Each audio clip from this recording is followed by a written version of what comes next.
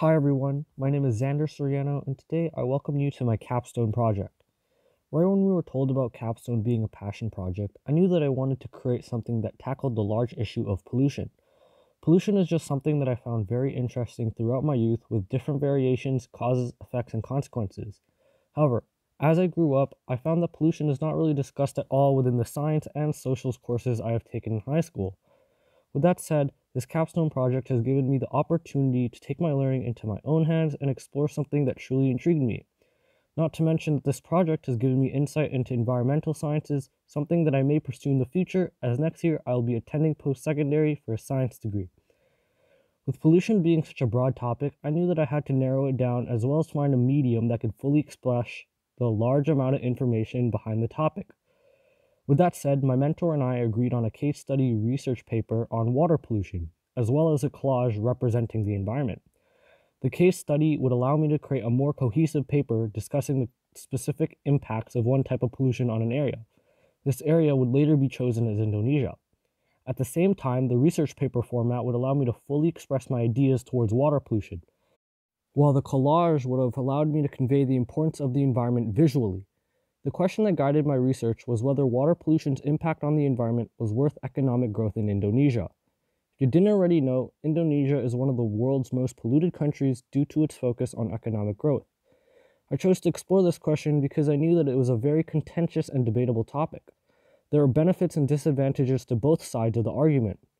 There are there are reasons people would want to preserve the environment and slow economic growth, but there are also reasons why people would want to sacrifice the environment to speed up economic growth. This issue ultimately required many hours of research and required me to look at different perspectives to combine facts and statistics to find a reasonable answer to the question. In my research paper, I discussed three main reasons for water pollution their contribution to Indonesia's economy and their impact on the people and the environment. The three reasons for water pollution were industrialization, poor waste management practices, and an emphasis on agriculture. I will now summarize the points I made within each topic. More detail as well as facts and statistics are in the research paper. Industrialization. Industrialization within Indonesia was extremely beneficial to Indonesia's economy and gross domestic product, as more and more factories were able to produce more goods for buying and selling. However, Many of these factories were dumping their industrial waste into bodies of water such as the Citarum River. The Citarum River is a river body within Indonesia that millions of Indonesia's residents rely on for food, water, and bathing. However, due to poorly enforced laws, factories continuously dump massive amounts of chemicals and physical waste into the river, ruining the environment and the livelihood of millions. Ultimately, I mentioned that due to massive industrialization, many industries are accelerating the growth of water pollution in Indonesia, as well as hurting millions of people relying on the Citarum River. Next, poor waste management. Poor waste management in Indonesia is also a huge reason for water pollution. The fact is that most Indonesian cities don't have sewer systems or waste disposal systems because they're extremely costly to implement. Typically, Indonesians rely on septic tanks to store their waste. However, even septic tanks are in short supply as many Indonesians are unable to afford them. Consequently, millions of Indonesians are forced to dispose of their waste anywhere they are able to. This includes places such as the river or streets. I mentioned that although implementing these new waste disposal systems will take a very long time as well as a lot of money, effectively setting the economy back, it will ultimately benefit the livelihood and standards of living for millions of Indonesians.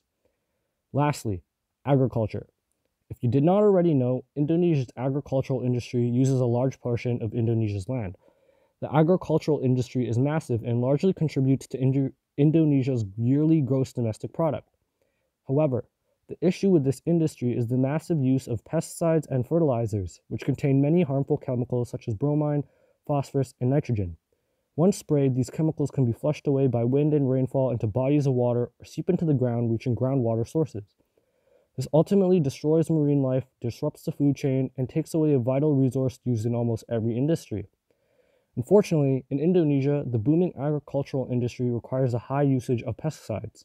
Ultimately, I mentioned with the continuous use of pesticides and their negative impact on usable water, the agricultural industry will ultimately suffer in the future if clean water is not preserved.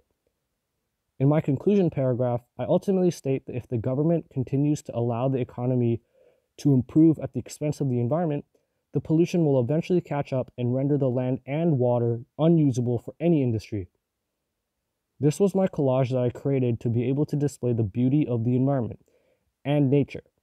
I used Photoshop and a variety of its tools to combine a series of images to enhance my visual.